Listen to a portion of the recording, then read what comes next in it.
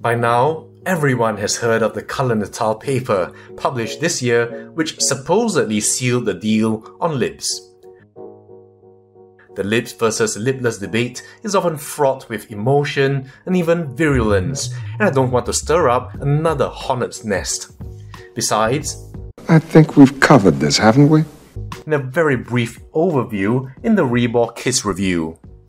Instead, I thought it'd be interesting to look at some of the background science to their reconstructions in the anatomy and the jaw posture. I will give you some lip, but only as relevant to their reconstructions in the paper.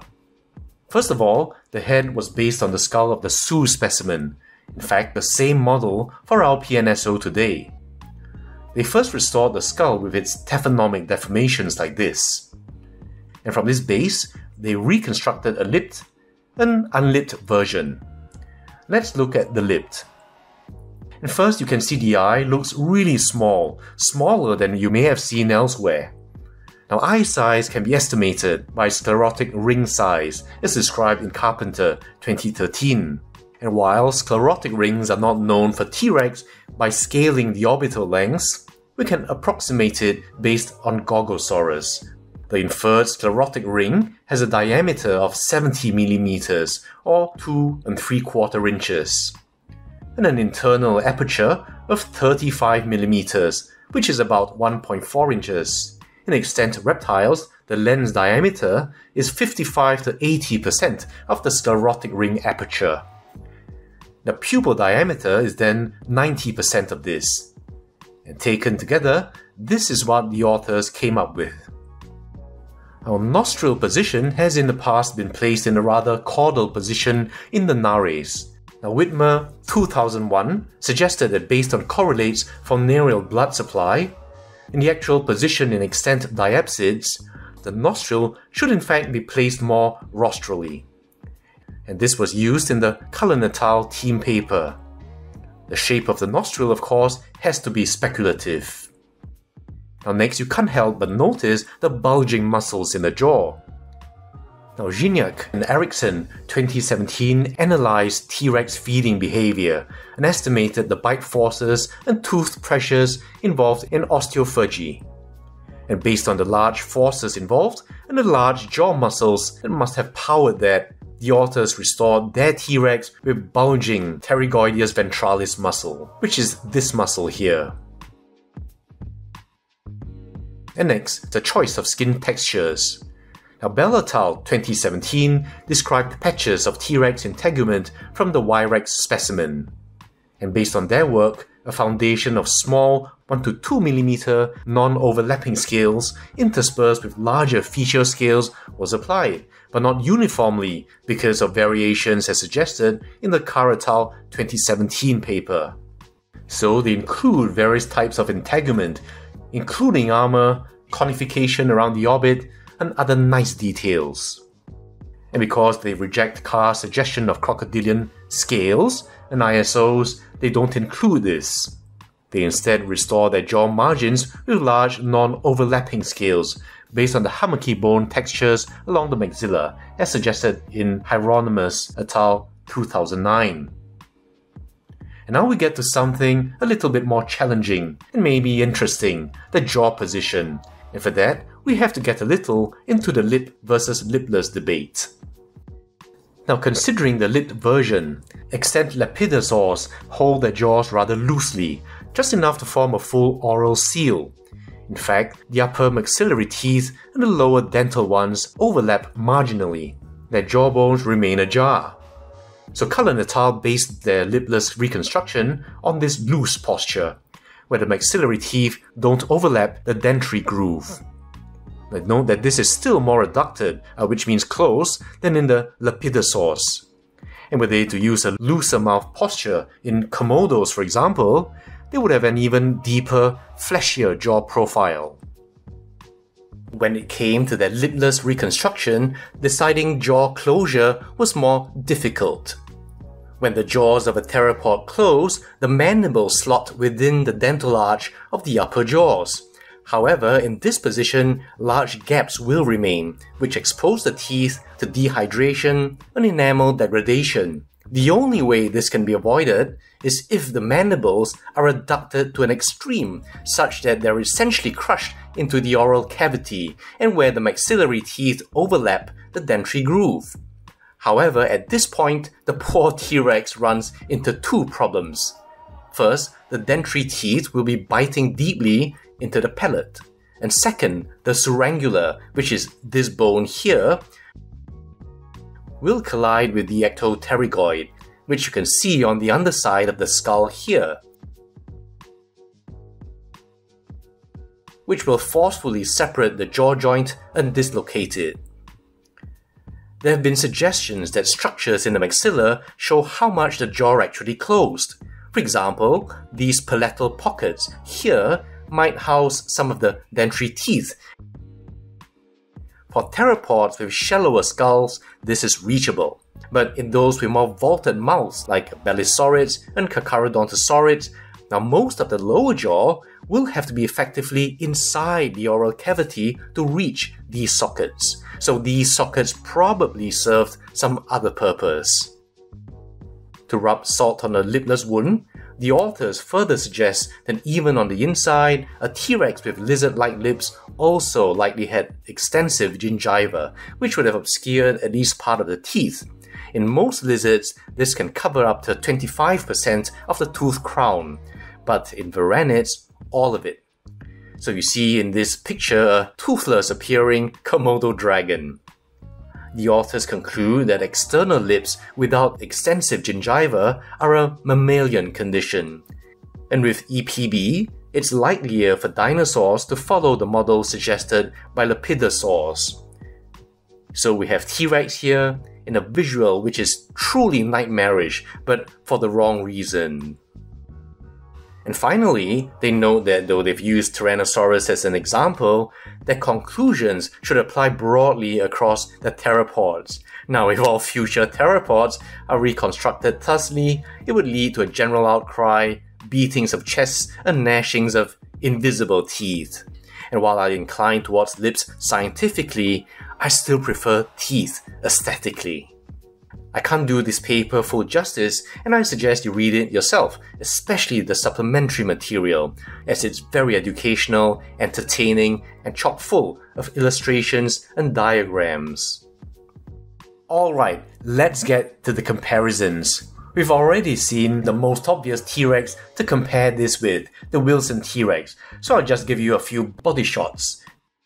You can see the differences in the pose, and also the profile of the animals. Now, Wilson in my mind is still a worthy one to have. The obvious differences include, of course, the fineness of the skin detail, the more generous surface textures and keratin structures,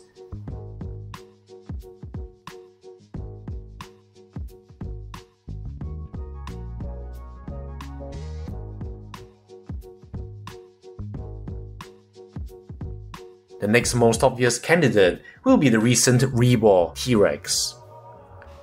You can see just what a bruiser the Rebor is. As bulky as the PNSO is, Rebor is even more so.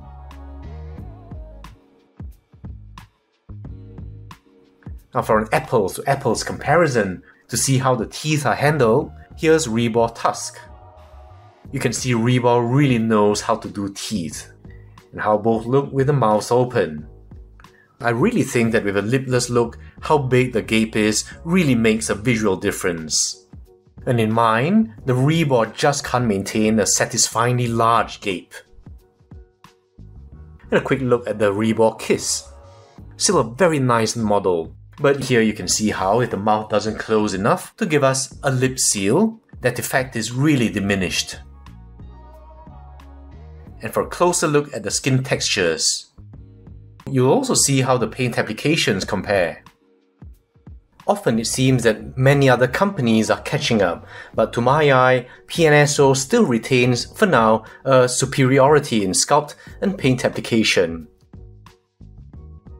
It's it's really hard to elaborate fully, but there's a kind of je ne sais quoi that PNSO has when it comes to laying down color that looks real and pigmented, a Goldilocks kind of balance that other mass produced models just don't have.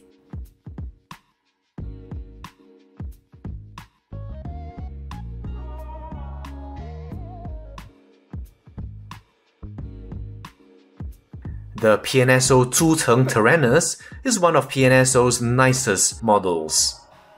Now previously I said that you can actually use the ZT as a T-Rex substitute if you can overlook some proportion differences.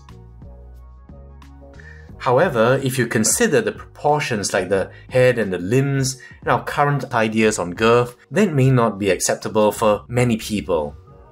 But here at least you see how nice a lighter, differently painted T-Rex could have looked. And here's the PNSO Tarbosaurus, arguably one of the most popular PNSO tyrannosaurids to come out.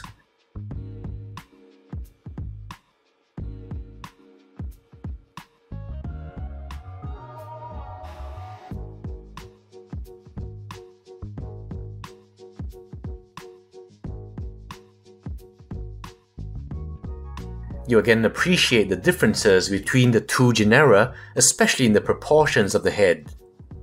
And while we're in this position, we'll finish off with a top view comparison. Now we might as well look at an oft forgotten PNSO tyrannosauroid, the Yutyrannus. And here you see the kind of detail that PNSO was already getting very good at in 2021. And when you compare the two, the level of quality isn't so far off you can't put them together on a shelf. And looking at this model again just reminds me how qualified, not to mention overdue, that PNSO is for a Deinonychus or a Velociraptor. But I wanted to close out with, I think, the most, I won't say comparison, but compliment. And here's PNSO Andrea, the first T-Rex to sport PNSO's refined detail. And here you see the lovely couple with similar colors and patterns, but with subtle differentiation as you'd expect in real animals. The scale detail is now so complementary, and so you'll see that the two are now a very nicely matched pair.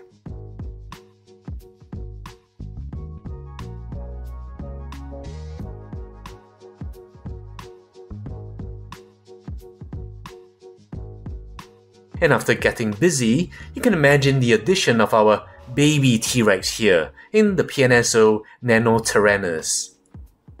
And for many collectors, Cameron is effectively the new Wilson, so having consistent colors allows us to have a family diorama that finally unites the new integument across all T-Rexes. With perhaps a time traveler from the past. So that's it for the new PNSO Cameron the T-Rex. To date, this is the best Tyrannosaur that PNSO has produced, considering the finer integument, the paint applications, and tweaks to the Wilson sculpt. But PNSO is ever improving and upgrading, so this assessment of best will always flow down to the next Tyrannosaurid produced. Now, I appreciate not just the quality of the sculpt, the paint application, but also the accuracy, now, some will be disappointed about having no lips, but I do respect PNSO's integrity to their own beliefs. When you consider how in vogue the lip look is, and how imperfectly Rebor's Kiss closes its mouth, it would have been easy for PNSO to just slap on lips, make sure the mouth closed perfectly, and wait for the sales to come in. Easy money. Come to think of it, this is named Cameron, and it fills out our T-Rex family. Now that we have the complete picture, if PNSO wants to do lips in future, that could actually be an upgraded Wilson. And starting another lineage, so to speak, ushering in a new age of lips. Now I hope that PNSO will not now give us a slew of Tyrannosaurids like they did with the Carcharodontosaurids. It'd be nice to get a Gorgosaurus or a Daspletosaurus, but spread out over time. There's plenty else like a sea reptile, an eudromaeosaur, a sauropod, in fact anything that isn't a large theropod that could keep things exciting and avoid saturation, and keep things unpredictable and fresh. So that's it for Cameron. It was a long video, I had to split it into two parts, but I hope it's given you some insight and information to make your decision. I'll see you in the next video, and of course, I look forward to your comments.